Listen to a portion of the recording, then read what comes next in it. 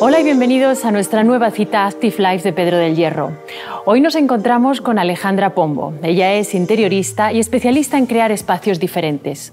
Con ella vamos a hablar de un tema que me apasiona, cómo llenar tu casa de energía positiva. Hola Alejandra, ¿cómo estás? Hola Nieves, muy bien. ¿Cómo enlazas el interiorismo con el Feng Shui? El interiorismo y el Feng Shui está totalmente relacionado. Y es que el Feng Shui te da pautas a seguir para que de una manera coherente ordenes esos objetos dentro del espacio. Al ordenar esos objetos dentro del espacio, al final lo que creas es el equilibrio y armonía. Y eso al final da felicidad habla al final de que los espacios funcionales te tienen que dar armonía y te transmiten en el fondo felicidad. Entonces en el interiorismo al final es nuestra filosofía del día a día. Cuando trabajamos al final cogemos al cliente su personalidad tal y transmitimos eso de la manera que cogemos esos elementos y los ordenamos para que esa armonía y ese equilibrio funcione.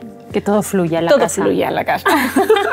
y no sé si a ti te parece, pero yo creo que hoy en día, quizá porque estamos eh, contaminados de tanta información ¿no? y tenemos las redes sociales, yo a veces veo como que todas las casas son iguales, como que no hay una personalidad, ¿no? De, digamos, de, la persona que vive en ella, ¿no? Como que es todo igual, todas las casas me parecen iguales. Sí, yo siempre recomiendo que nos conozcamos a nosotros mismos. Eh, eh, con las redes sociales yo creo que estamos perdiendo un poco el, el, preguntarnos más a menudo quiénes somos nosotros, qué nos gusta. Es que no todos estamos cómodos con todo, todo igual, entonces yo no vivo el espacio igual que lo vives tú, y entonces aprendemos a conocernos, mm, pregúntatelo más a menudo qué me gusta, cómo me gusta vivir la vida y al final todo viene solo, porque al final caemos mucho con las redes sociales en hacernos la misma casa del al lado, que no funciona ni en tu mismo espacio, porque al final estás viendo una casa que tiene unas variantes que no tienes la tuya y a lo mejor su estilo de vida es totalmente diferente a la tuya. Entonces tenemos que conocernos y crear nuestro espacio de medida. Eso yo creo que es súper importante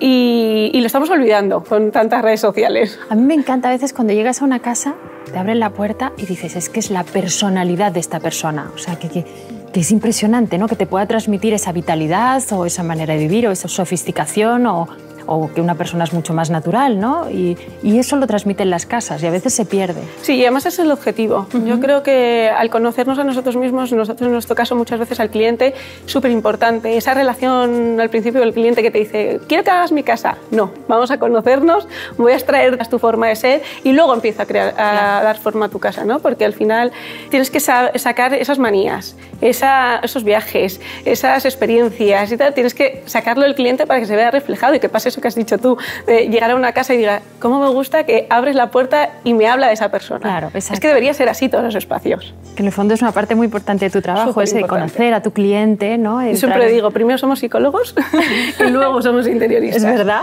Porque... Es verdad eh, no, para todo el mundo, al final tu día a día es muy importante. ¿Cómo ¿Tu día a día cómo es? Pues es que yo me levanto a una hora, mm, mm, desayuno primero o después, o me voy directamente, o hago ejercicio en casa, o teletrabajo. La vida es tan diferente para cada persona que además al final el espacio tiene que ser el reflejo de eso. Y dar, sobre todo, yo siempre digo que la estética y la funcionalidad tiene que ir de la mano. Entonces, si tú tienes un estilo de vida, tiene que ir con la estética de tu casa. No puede ser que tengas una casa de una manera con una estética tan diferente a tu forma de vida que al final ese choque hace que no haya equilibrio. Y el equilibrio es lo que hablábamos antes, ¿no? Que el día a día no es cómodo. Entonces al final no tienes esa armonía que te da paz en tu día a día. ¿Y tú crees que también se puede aplicar a la ropa? Muchísimo. Mucho. La, al final, funcionalidad y, como, o sea, funcionalidad y estética en el interiorismo tiene que ir de la mano y creo que la ropa también. Equilibrio, ¿no? Todo el mundo queremos ir guapas, pero queremos estar cómodas. Al final, yo salgo a las 8 de la mañana en mi casa a una obra y quiero estar guapísima en cada una de mis reuniones, pero quiero estar en la obra y no estar con el tacón que se me está hundiendo en el, en el suelo. Entonces, tengo que estar cómoda para también eh, y, poder llevar a cabo una reunión en condiciones. En condiciones. ¿Y ahí, por ejemplo, qué tipo de ropa te gusta llevar? Cómoda. Me encanta la nueva colección de Pedro del Hierro, es que la veo perfecta para mi forma de vida. Al final, em, a mí me gusta salir, mm, sentirme guapa cuando salgo de casa, pero me gusta estar cómoda. Y al final em, voy tanto a una oficina como a una obra. Entonces, que en todas esas, ese día que es tan cambiante, que al final esté, estés cómoda. Esté cómoda, sí, sí. Pues ahora me tienes que dar unos consejos, unos tips básicos. Te voy a por ejemplo, iluminación. Para mí es súper importante. La iluminación, consejos súper importantes. La temperatura de color, que hemos hablado de, la luz, tiene que ser cálida. Eso es súper importante. Yo también aconsejo que haya diferentes iluminaciones en la casa. Al final, el estado de ánimo depende de tu estado de ánimo, te gusta la casa iluminada de una manera o de otra, o depende para el uso que lo estés utilizando ese espacio. Al final, el que tengas una iluminación de techo, que yo por ejemplo siempre ilumino hacia las paredes, no me gusta en nada una iluminación en el centro de la estancia.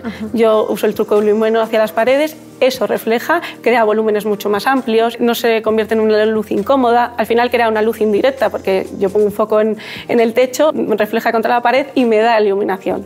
esa luz indirecta es muy importante, que al final la luz parece que, venga de diferentes sitios que no lo veas tan obvio porque al final es potencial la luz natural, que cuando no tienes tanta luz natural eh, hay que utilizar muchísima luz indirecta, el uso de velas, eh, candilejas de luz, eh, cosas que eh, por, lo menos apliques de pared con una luz baja. Por ejemplo, hay muchas veces que, que, mm, depende de tu estado de ánimo, te gustan muchísimo las lámparas bajas y el aplique bajo, y la luz de techo ni la enciendes. Entonces, ese tipo de truco. Y que puedes regular, ¿no? A veces. con potenciómetro, súper importante. Súper importante, ¿no? Sí. porque una fiesta en la que te apetezca tener muchísima luz y iluminar los cuadros, no es lo mismo que llegas a casa y te sientas en el, en el sofá con tu té y estás más tranquila. Eso es muy diferente a la iluminación. Y, y te cambia el espacio. Plantas. Muy importantes, ¿no? Yo lleno de plantas todo. todo. Hay que ser muy consciente que las plantas hay que cuidarlas. Entonces, no hay nada más feo que una planta que se esté medio muriendo. Entonces, las plantas colocarlas eh, lo más cerca de la luz natural. Hay bombillas artificiales, por ejemplo, de luz artificial que cuidan esas plantas. Que sepamos que de repente hay bombillas que tú enciendes por la noche y dan vitaminas a esas plantas que si dices, bueno, es que yo no tengo una casa con muchísima luz eh, natural, pues hay bombillas que te ayudan a que, al cuidado de esas plantas. Y al final te da, te da sensación natural y eso en cualquier zona de la casa. Yo es que pongo plantas en los dormitorios, en los salones, la cocina, todo. ¿Qué, plantas son las que más te gustan para una casa? Pues depende del espacio. Depende del, espacio. Al final, eh, yo en mi casa, por ejemplo, tengo kentias, tengo pachira. Me gusta muchísimo en mi cocina, tengo un montón de aromáticas que las utilizamos. O sea, al final, también que hoy en día, hasta tener un pequeño huerto en tu casa, de tus, las cuatro aromáticas que utilices, pues que las puedas coger de ahí, las cuides y que te den también más vida a esa cocina. ¿Y los espejos? Un recurso que utilizo mucho. Que es muy importante. Súper importante. Sí. Eh, habla mucho de la colocación de los espejos, de en qué espacios. Es verdad que al final cada casa es un mundo y no tienes que seguir tan a rajatabla, el espejo en la entrada, se te van las energías. Yo, yo lo traslado mucho más a la persona. ¿Se te van las energías en la entrada? dicen que sí, que, dicen ¿Ah, que un poco el espejo justo en la entrada, pues se, va, se van las energías de la casa. Pero al abrir la puerta. Al abrir la puerta, se va todo fuera. Pero, por ejemplo, hay muchas casas que necesitas un gran espejo cuando entras, porque a lo mejor es muchísimas casas en Madrid que son con ese eh, pasillo interminable y el hall está al fondo, que no tiene ni una ventanita, eso, y de alguna manera tienes que ampliar el espacio. La primera sensación cuando te recibes en tu casa que sea pues de, amplitud. Y yo, por ejemplo, utilizo muchísimo.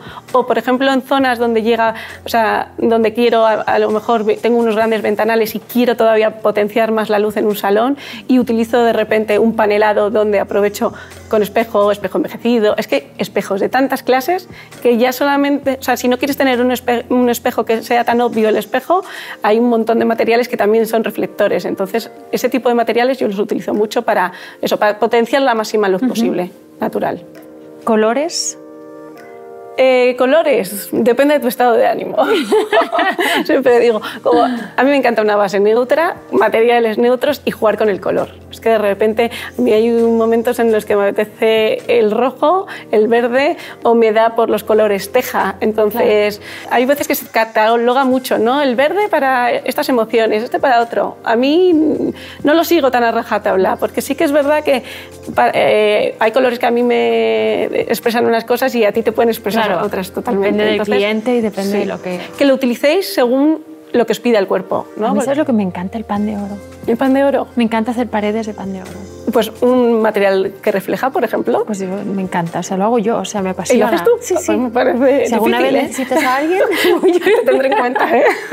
Tengo mucha paciencia. Voy allí, me encanta. Eso es totalmente un ejercicio. Sí, pero no sé por qué me gusta. Es como una sensación en todas las casas. Siempre he tenido una pared con pan de oro.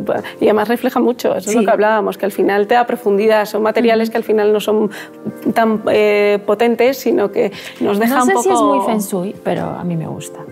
¿Te relaja? A mí sí. ¿Te da buena energía? Pues entonces. Entonces sí. lo estoy haciendo bien.